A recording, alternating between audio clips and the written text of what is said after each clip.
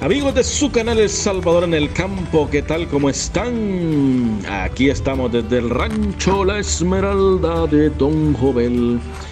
Ahí para darles esta actualización, para que ustedes se fijen en lo que él tiene.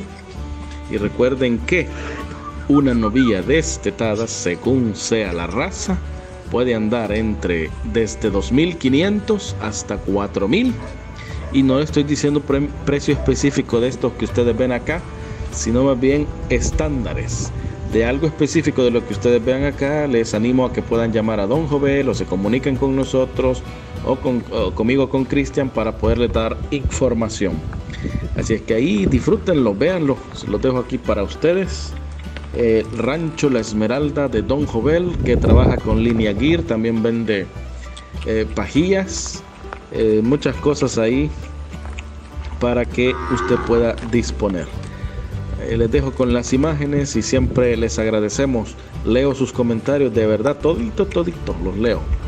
Hasta los insultos, que, que no es cierto, ustedes no me insultan, así es que saludos amigos y seguimos en otro video de su canal El Salvador en el Campo.